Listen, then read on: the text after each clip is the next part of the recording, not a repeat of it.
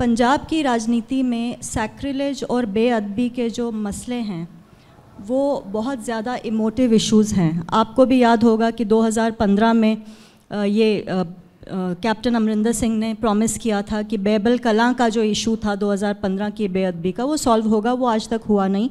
अभी पीछे दो बहुत ही अनफॉर्चुनेट इंसिडेंट्स पंजाब में हुए। आपकी पार्टी का सैक्रिलेज को लेकर क्या स्टैंड है? Specially in the wake of the fact कि पीछे जो दो किलिंग्स हुई हैं पंजाब में, बेअदबी के मामलों में पिछले हफ़्ते, उस पर कोई खुल के बयान आपकी पार्टी का या किसी भी पार्टी का नहीं आया? नहीं, हमने तो बोला है। बेअदबी श्री गुरु ग्रंथ साहब जी का सब लोग आदर करते हैं। केवल ऐसा नहीं कि सिख समाज आदर करता है। सभी धर्म के लोग बहुत ज़्यादा इज़्ज़त करते हैं बहुत ज़्यादा आदर करते हैं।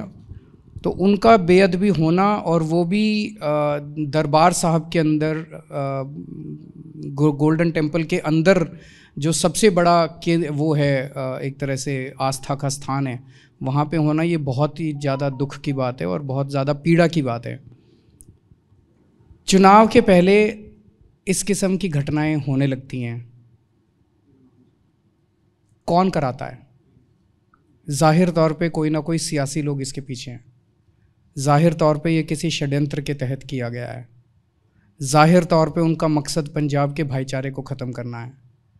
मैं पंजाब की जनता से एक तो ये कहना चाहूँगा कि इनके भुलावे में नहीं आना, इनके षड्यंत्र में हमें नहीं फंसना और पंजाब अपने भाईचारे के लिए बहुत फ़ेमस है। सभी धर्म, सभी जातियों के अंदर बहुत अच्छा भाईचारा उस भाईचारे को हमें कायम रखना है। दूसरा, पिछले पाँच साल के अंदर बेअदबी जो पिछली हुई थी, उनके ऊपर कोई कार्रवाई नहीं की गई। कोई एक्शन नहीं लिया गया। किसी किस्म की कार्रवाई नहीं की गई। उस वक्त भी गुटका साहब की कसम खाई थी कांग्रेस के नेताओं ने कि हम बेअदबी करने वालों को सख्त सजा देंगे। अभी तक तो उन्होंने कोई जाँच तक शुरू नहीं की है उसके ऊपर। नहीं जाँच तो हो रही है केजरीवाल साहब। एसआईटी बनी है हाँ। वो गुरमीत राम लेकिन एक्शन तो कुछ हो रही है। फॉर्मर तो डीजीपी को बुक किया गया है। बादल परिवार के खिलाफ जाँच चल रही है मास्टरमाइंड जो थे उन तक नहीं पहुँची ना बात। देखिए अब जिस बंदे ने वहाँ पे अभी दो कुछ दिन पहले बेअदबी करी उसको तो किसी ने भेजा है। किसने भेजा है? उसके पीछे ज़ाहिर तौर पे कोई ना कोई सियासी मास्टरमाइंड है जो पंजाब की शांति भंग करना चाहता है।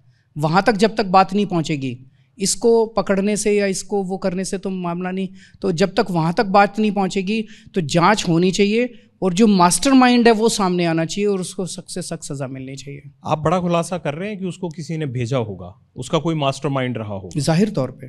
कोई क्यों अदरवाइज़ कोई आके क्यों करेगा? एक आम आदमी क्यों करेगा? उसको क्या मिलेगा? आप खुद सोचिए ना इसको उसको क्यों कोई क्यों करेगा? आप लोगों को बताना चाहेंगे कि कौन लोग हो सकते मुझे नहीं पता। जो, जो इतना ये बड़ा तो जाँच की कर सकते हैं। ये तो जाँच का विषय है। आम आदमी पार्टी की सरकार बनेगी हम इसकी पूरी ईमानदारी के साथ जाँच कराएँगे इसकी भी और पुराने बेअदबी के सारे मामलों की जाँच कराएँगे और इनके पीछे जो भी मास्टरमाइंड है उनको बेनकाब करेंगे और उनको सख्त सजा दिलवाएँगे। आपको लगता है कि लिंचिंग नहीं होनी चाहिए थी? अगर वो आदमी ज़िंदा रहता तो मास्टरमाइंड तक पहुँचने में मदद मिलती। अगर वो ज़िंदा होता तो ज़्यादा अच्छा रहता उस मास्टरमाइंड तक पहुँचने में मदद मिलती।